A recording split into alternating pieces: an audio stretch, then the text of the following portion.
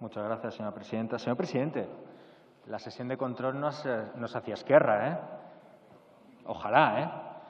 Pero un momento, señor Casado, creo que usted ha calificado los indultos de inconstitucionales, no se lo sabe.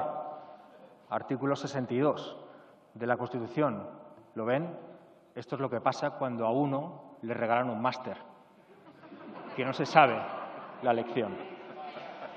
Pero mire, señor presidente, yo le agradezco, le agradezco personalmente, le agradezco personalmente la valentía, le agradezco personalmente la valentía ante la jauría.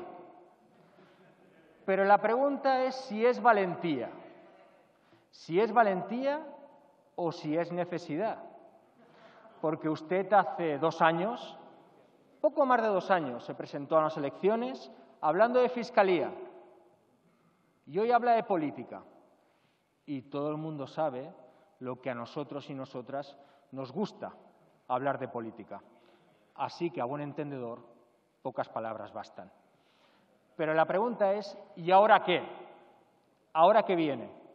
Porque hay muchísima represión aún en Cataluña y fuera de Cataluña. Solamente basta recordar a los chavales de, de Alsasu. Para nosotros, hay calma. Para, nosotros y nosotras hay muchísimo que recorrer en cuanto al Tribunal de Cuentas, al Código Penal, al Poder Judicial, a la ley Mordaza. Silencio, por favor.